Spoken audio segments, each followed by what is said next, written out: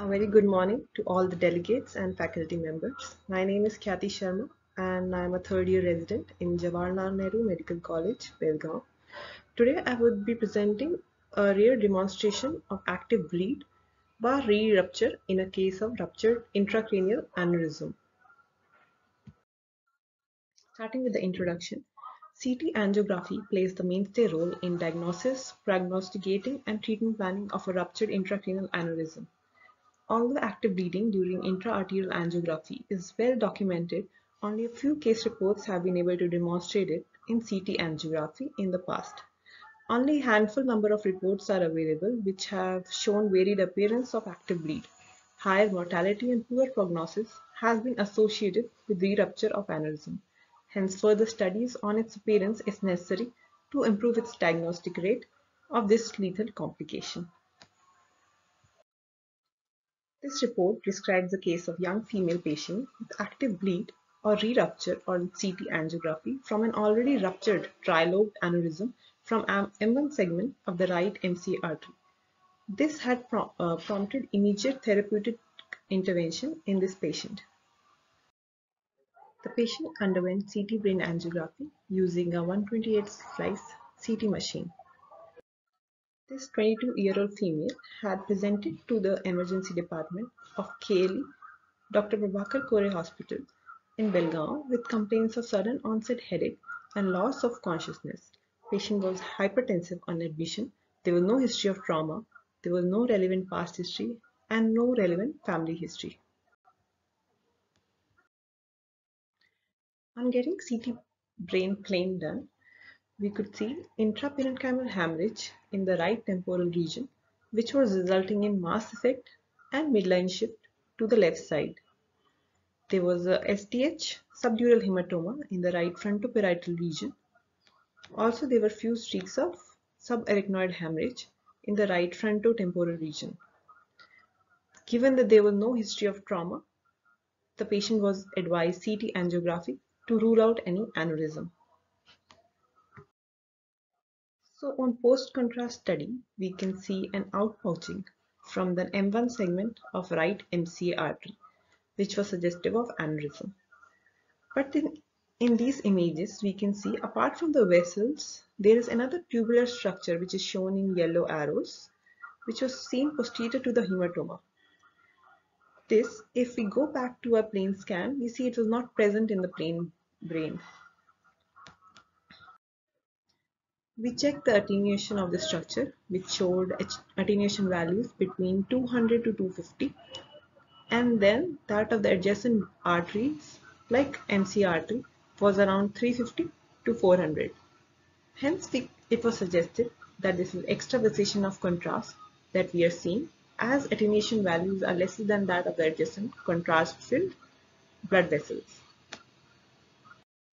On further delayed images taken 3 minutes after, we can still see pooling of the contrast in the subarachnoid space in the right temporal region, which was confirming our suspicion of a contrast extravasation or re-rupture. These are 3D post-processed images in which we can see the aneurysm in the right MCA with contrast extravasation. Coming to the discussion, Previous literature tells the incidence of aneurysmal rebleeding during intra-arterial angiography varies from 0.01% to 0.35%.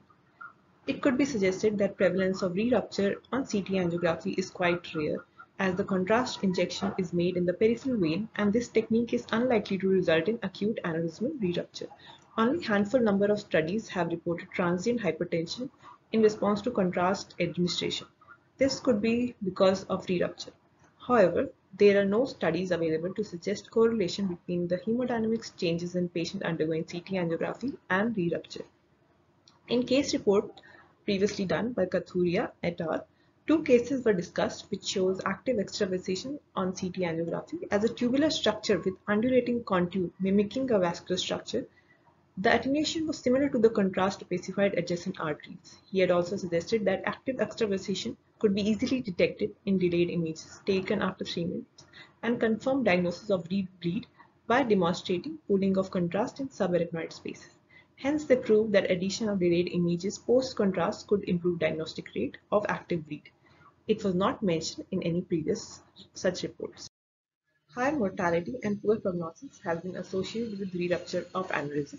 Since CT angiography is used in almost all the cases being evaluated for rupture analysis, it is essential to recognize this condition at the earliest as prompt diagnosis may help in improving the prognosis in this lethal complication. Studying the characteristic appearances are necessary. Only a few cases of active bleeding during CT angiography have been reported in the past. Moreover, the cases reported so far have varied appearances. Further, reporting these cases might help in understanding different imaging appearances and increase the diagnostic rate. Pollodny et al. had reported a nebulous area of increased attenuation outside and adjacent to the right internal carotid artery, indicating extravasated contrast.